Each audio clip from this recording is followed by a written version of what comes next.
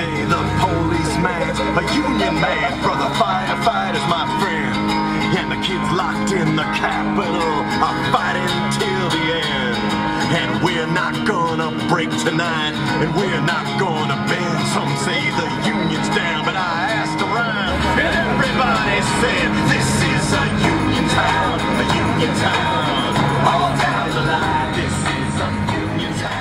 wollen äh, eine Kundgebung starten und Protest machen, da wir eben finden, dass wir nicht das richtige Equipment bekommen oder nicht ausreichendes Equipment. Zum Beispiel kriegen wir nasse Füße im Winter und dann haben wir Schuhüberzieher bekommen, wo man aber darauf ausrutscht. Und wir wollen halt auch äh, eine Entschädigung für das private Handy, was wir benutzen, denn äh, das verschleißt im Winter noch umso stärker. Zum Beispiel wollen wir auch langfristig dann ein Diensthandy haben, ähm, denn wenn unser privates Handy runterfällt, äh, kriegen wir den Schaden nicht bezahlt während der Arbeit, sondern müssen das erstmal einklagen vor Gericht. Zuschläge gibt es keinerlei. Wir haben seit drei Jahren einen Stundenlohn hier in Köln von 10 Euro, nicht mehr. Und äh, mit dem Tarifvertrag, den wir anstreben, versuchen wir 15 Euro pro Stunde zu erreichen und auch Zuschläge.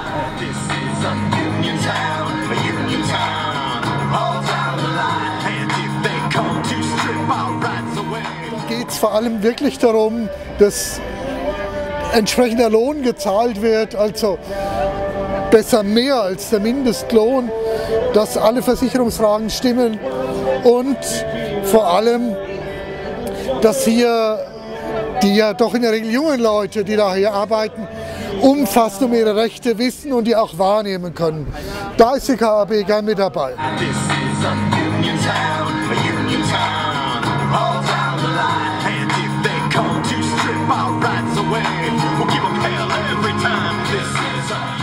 Ja, wir brauchen vor allem Aufmerksamkeit. Ne? Deswegen machen wir das auch hier vor Ort und nicht nur online oder schriftlich, äh, sondern laden hier wirklich alle ein, ähm, auch darüber zu berichten, in was für Wettern und unter welchen Umständen wir hier doch arbeiten. Das sind junge Leute. Ihr habt ja auch viele Frauen. Ich weiß nicht, wie schwer so eine Kiste ist, wenn sie voll bepackt ist, aber das ist ja auch, auch eine ganz schöne Arbeit. Ja, wir haben auch einige Frauen da, sind, aber die Frauen haben halt vor allem auch das Problem, dass gerade durchs private Handy, wenn die ihre Nummer nicht unterdrücken, dann auch mal gerne belästigt werden von den äh, männlichen älteren äh, Kunden oder auch jüngeren Kunden. Kommt ganz unterschiedlich äh, zum Wirken sowas. Es gab ja jetzt auch das, äh, die Entscheidung vom Bundesarbeitsgericht, dass jetzt eben jeder Rider das Recht auf ein Diensthandy und ein Fahrrad hat, beziehungsweise eine vernünftige Entschädigung dafür. Ähm, sollte aber schneller umgesetzt werden, denn wir haben ja auch Datenschutzprobleme, wenn wir die Adressen und Telefonnummern von den Kunden auf unserem eigenen Handy haben. Today the policeman's a union man for the firefighters, my friend. And the kids locked in the Capitol. Die KAB macht handfest. Zunächst bringt sie mal wärmende Socken mit. Aber selbstverständlich ist das nur ein Symbol für unsere umfassende Unterstützung. Denn wir wollen verhindern, dass prekäre Arbeit sich noch mehr ausweitet. Es ist schon einiges erreicht worden, zeigen ja Entwicklungen bei größeren Lieferdiensten wie Gorilla, aber auch bei Lieferando. Wir versuchen uns ein bisschen zusammenzuschließen, haben zum Beispiel äh, Telegram-Gruppen, um das zu tun. Ähm, allerdings scheitert es auch ein bisschen daran, dass unterschiedliche Gewerkschaften da zuständig sind. Zum Beispiel ist für Gorillas die Verdi zuständig und für uns die NGG.